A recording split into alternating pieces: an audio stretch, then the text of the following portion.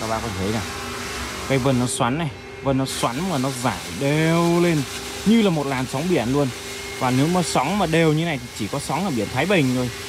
Chỉ có biển ở Thái Bình Dương nó có thể có những cơn sóng nó đều mà nó dài như này thôi. Cái này nếu mà sóng đánh lâu rồi nguy cơ trở thành sóng thần là rất là lớn các bạn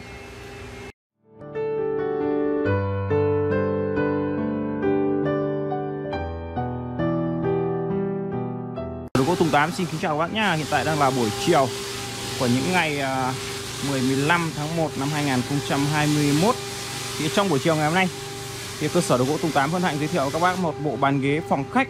Đây là một bộ bàn ghế trường kỷ các bạn Một bộ bàn ghế trường kỷ hàng đại Và sản phẩm hiện tại đang còn nguyên mọng Thì em sẽ quay trực tiếp luôn. Em vừa làm vừa trong xưởng ra Thì em sẽ quay trực tiếp và review luôn cho các bác xem bộ trường kỷ này.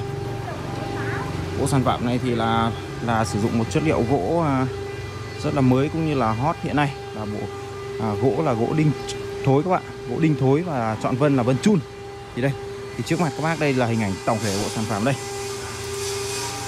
À, bao gồm có 3 món này. Em sẽ lia máy tổng thể cho các bác xem về hình ảnh của bộ trưng ký này. Bao gồm có 3 món và một bàn yếu và hai ghế văng dài. Hai ghế văng dài.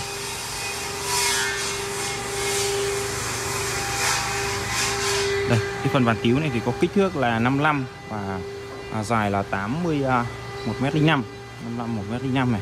Còn hai chiếc vang dài này có cái kích thước là 2m17 thuộc kích thước của bộ trường kỳ hàng đại các bạn.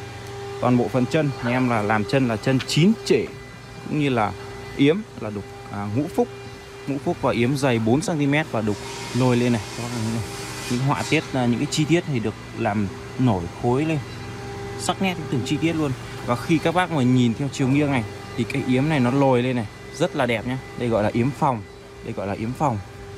Thì là những yếm nào dày ấy thì nó mới có cái độ lồi lên được như thế được nhá. Đó, tiếp theo cái phần đặc biệt hơn là cái phần ván mặt này. Toàn bộ phần ván mặt này là liền một tấm cũng như là vân như sóng biển luôn này. Đó. đầu tay thì là tất cả những cái sản phẩm bên cơ sở đồ gỗ tung tám là đều tay là đều là đục xoắn ốc. Đó. Một số sản phẩm khác trên thị trường thì là có thể làm tay vát đây này thì là có thể tiết kiệm được thời gian hơn. Bởi vì là một bộ trường này thì bao gồm có 8 cái xoắn ốc này, mà ngồi đục 8 cái xoắn ốc này thì cũng rất là mất nhiều thời gian nhé cũng như là công hoàn thiện sẽ lâu hơn. Nên là là nhìn là sẽ không đạt được độ đẹp khi bằng tay xoắn ốc như này. Đó.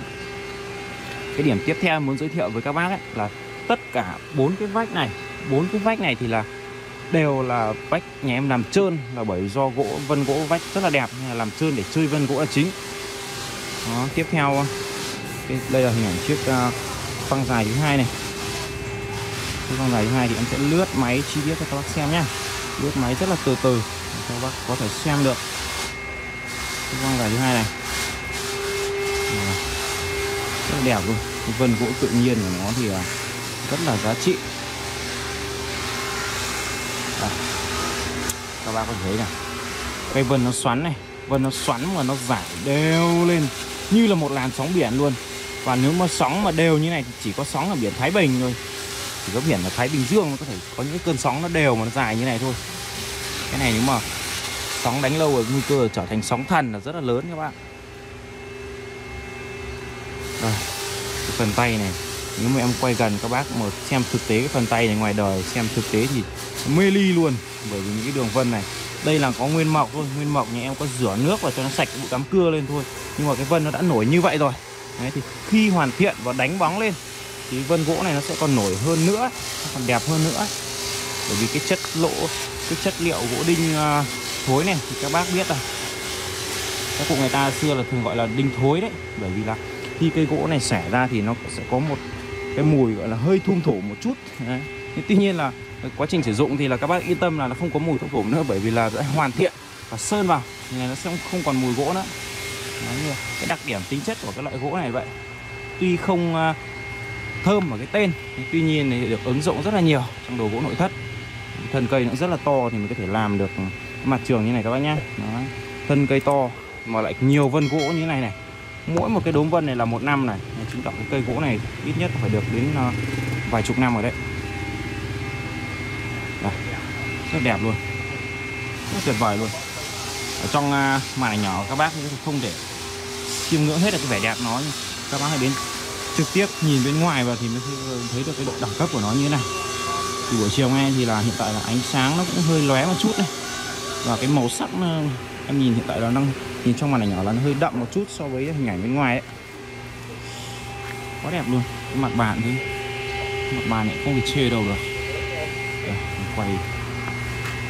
Cái chỗ này em em rất là muốn quay nhiều lần cho các bác xem nha bởi vì cái độ mê ly của nó như vân ra báo luôn.